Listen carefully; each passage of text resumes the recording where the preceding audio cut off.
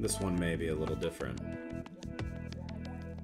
Been sick the last little while, and so my voice hasn't been holding up for these kinds of long term, long duration chats.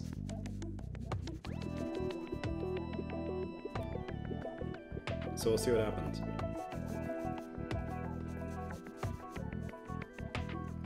As is often the case, I sat down and any semblance of a plan that I had for what I was about to draw or paint seemed to vanish.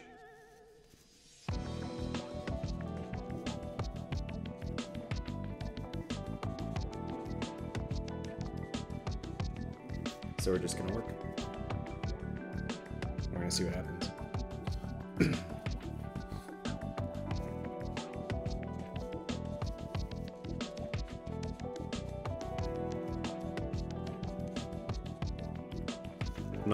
Too much about really anything. I'm just trying to block in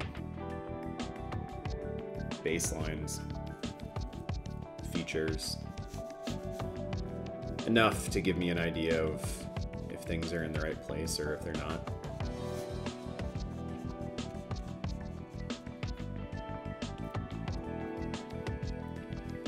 I haven't drawn or painted like this in a while. Used to do it a lot when I was in high school.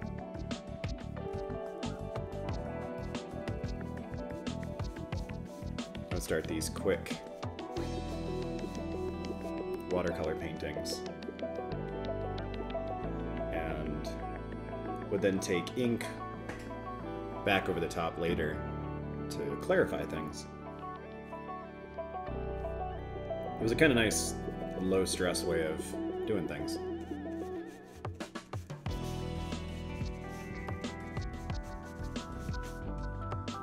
Low stress is often a really beneficial thing.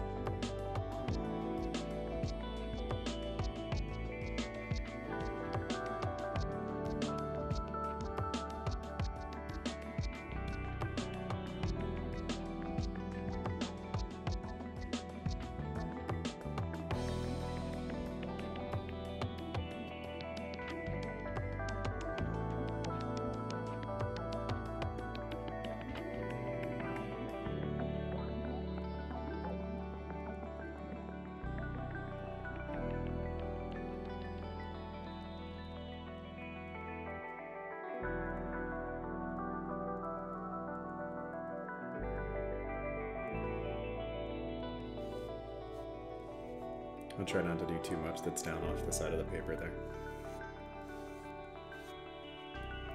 Sometimes when you're working with long, flowy hair, you find yourself at its mercy, and you just kind of keep going. You kind of keep going.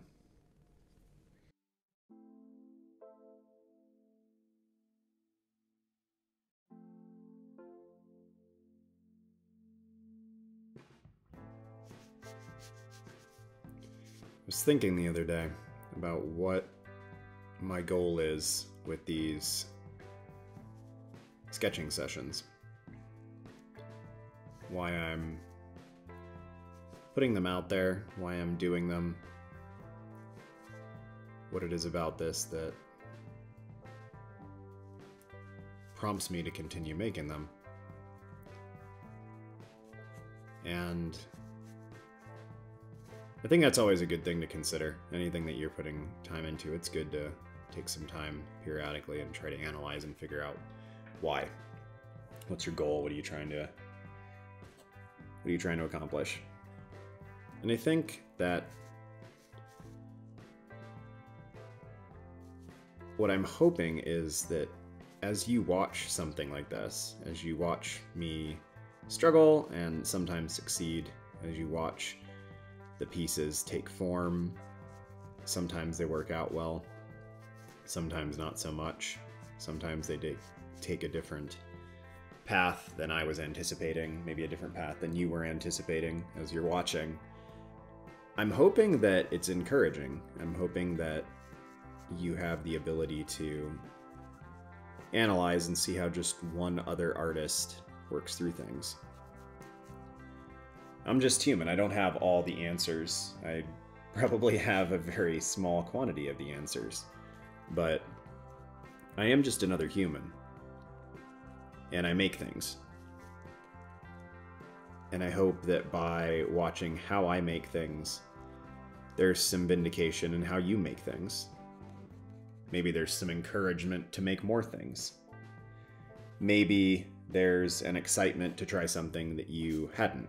Sometimes when you look at someone's finished work, you can find it almost overwhelming because you can't wrap your head around how it came into being. Well, I'm hoping that watching these funny little drawings and paintings and sketches come into being, you're able to understand that it's not magic. It's it's practice and it's like building a house. It's just one brick after another, putting things together. I make mistakes all the time. Probably the vast majority of the marks that I make are not correct. But the marks allow me to know more about what it is that I'm doing. The marks allow me to understand what needs to happen next. you can start working through some of the fear by just getting marks on the page.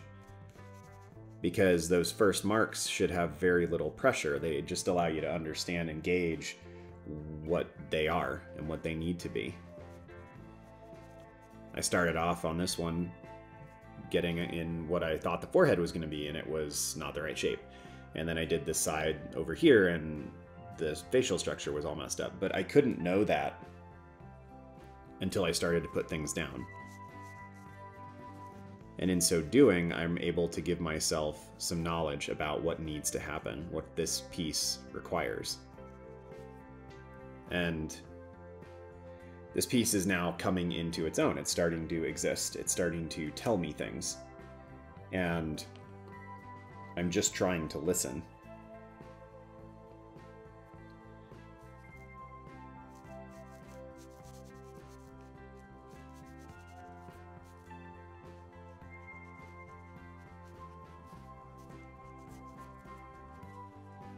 So my hope is that as you watch, as you listen, that you're encouraged.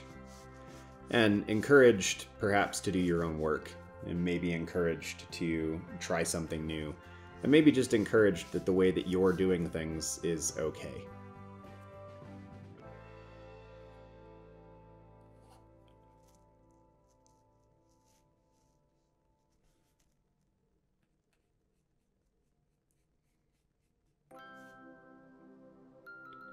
Art is hard. There's a lot that goes into it. And unfortunately, we have a tendency to make it harder on ourselves than it needs to be.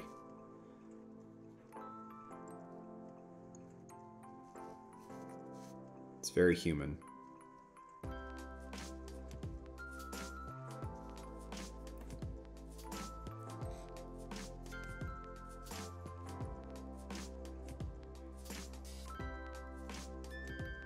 Too easy to get excited about a piece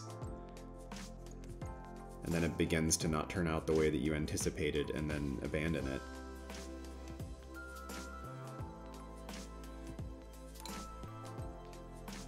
I've done that way more times than I would like to admit, but I don't think that it's bad to admit it. And if you're an artist if you've ever done anything creative, I would assume that you've probably been in a similar position on many occasions, where you either have given up or you've greatly desired to give up because things were not turning out the way you wanted.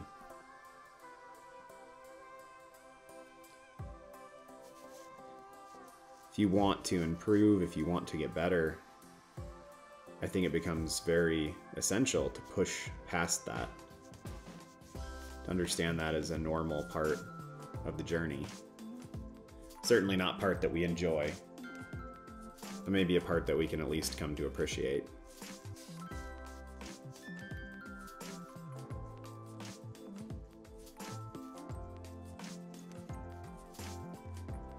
I think another reason why I'm here, why I think doing these drawing and sketching sessions can be beneficial is it, it helps me.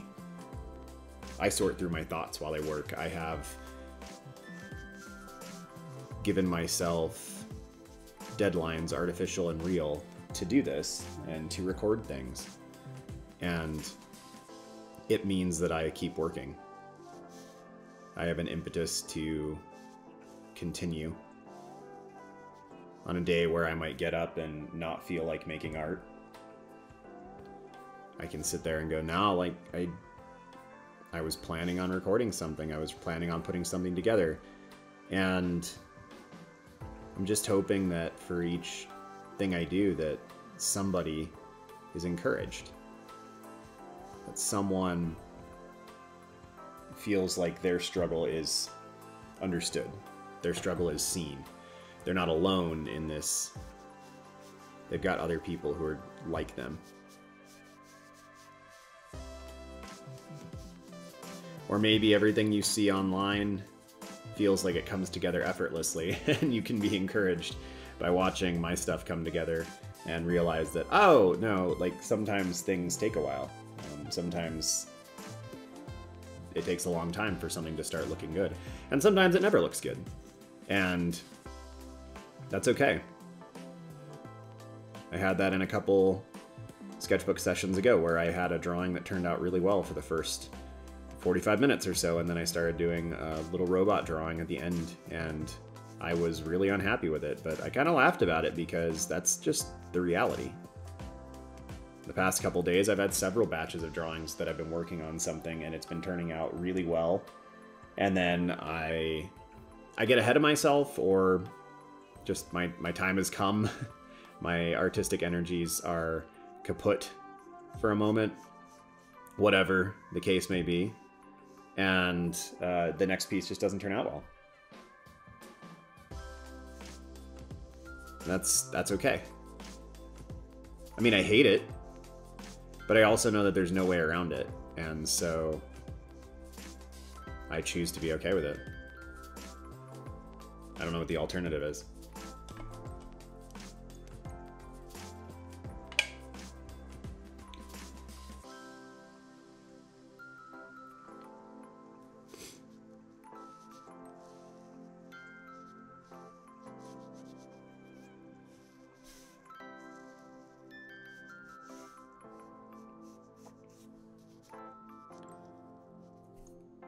I mean, even though watercolor is so temperamental, I just, I enjoy it.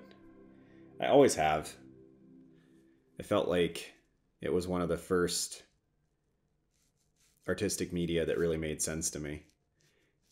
And it is temperamental. I know a lot of people and a lot of my students over the years were really scared about watercolor. And I, I understand that. I think maybe for me, we've had a long enough relationship. We've, we've come to a couple understandings about things and I know that it's just good for me. It's good for me because I want to have control over everything, and watercolor is just not not controllable in its entirety. So I know that it's a good thing for me to spend time with this because it helps me be more human.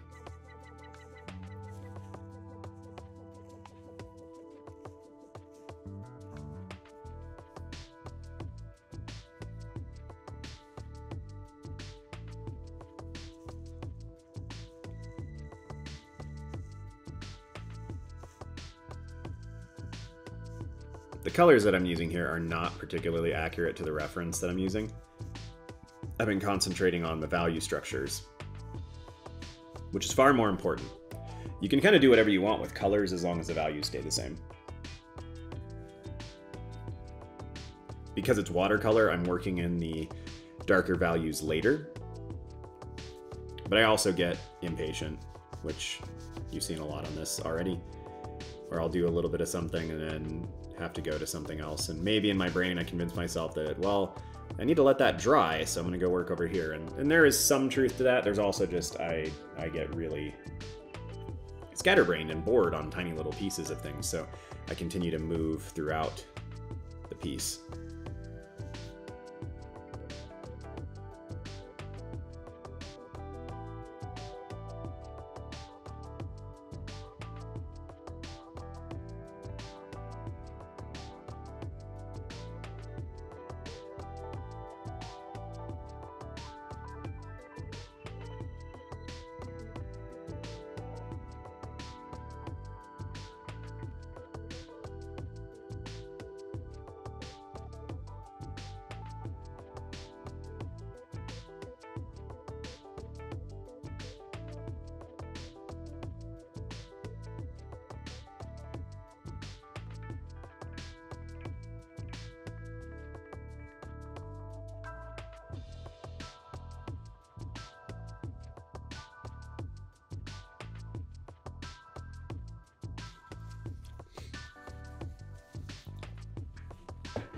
Ugh, I hate being sick.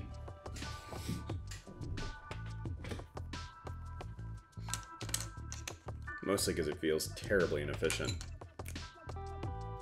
Because that's the right way to look at it.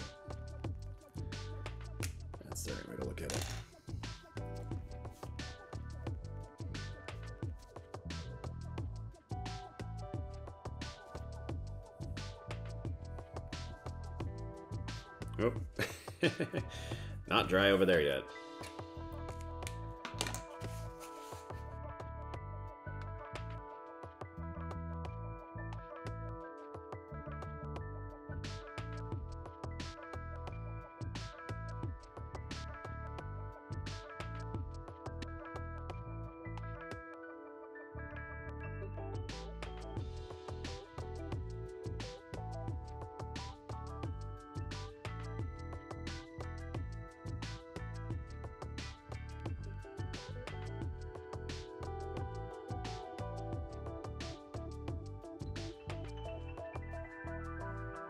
We got woken up last night in the middle of the night and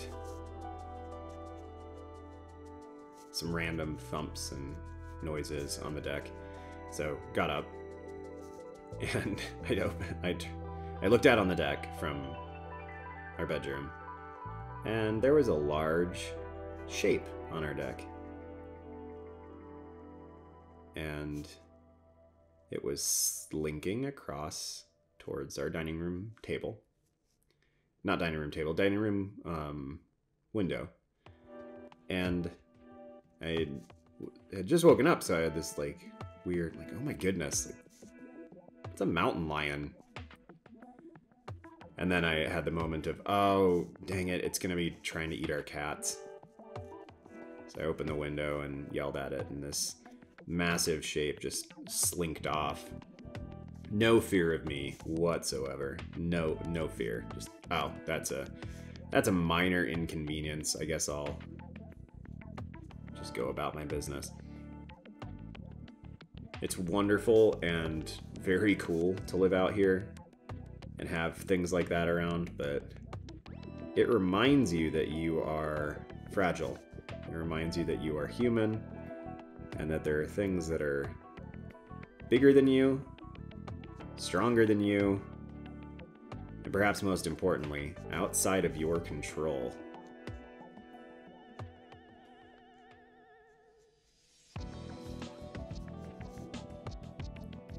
I'm happy to report that at least the two cats that we take care of around here are um, they're accounted for this morning, so they're they're good. We've got two others that kind of touch base with us a couple times a week, come and get a snack, and then go about their business. And we'll have to make sure that they're okay. But at least this morning, Marshmallow and Panda Cat are okay. So that's good. Told my daughter about it, and she was not fazed at all. No fear. Just like, that's so cool. Daddy, isn't that so cool? Like, yeah, it's really cool, but like, our cats almost got eaten. She's like, but they did not. She's got like no latent anxiety about things. She's just like, yes, that could have happened, but it didn't, Dad, so it's fine. Like, now we just get to live in the coolness of the fact that there was a mountain lion on our deck. Ah, the simpleness of, uh, of that manner of youth.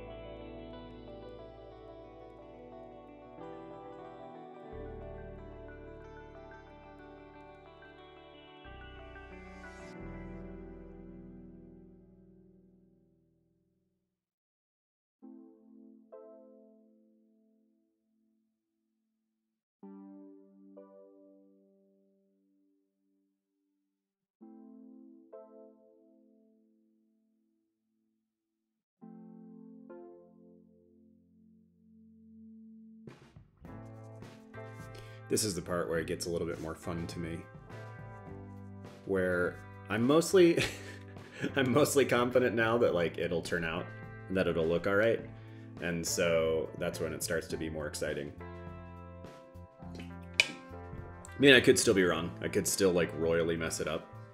But at least right now it looks like a thing. It'll be, you know, it'll exist. It'll be something and it won't be ridiculously terrible. So that's kind of when it's like, okay, cool. Like, I, I feel all right about this. Let me move this up a little bit.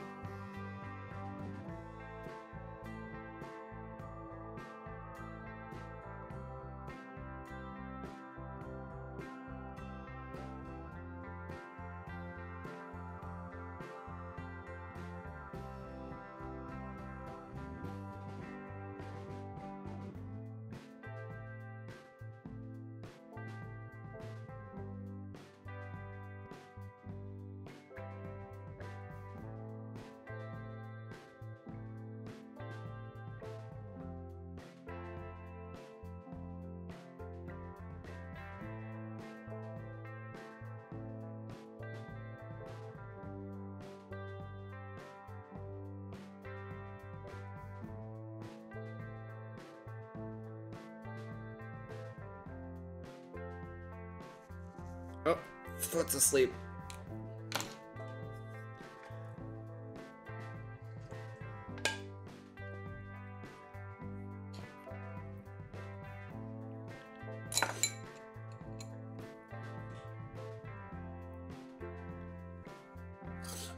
Probably a bad idea. I probably should wait a little while to make sure that the pen is dry, but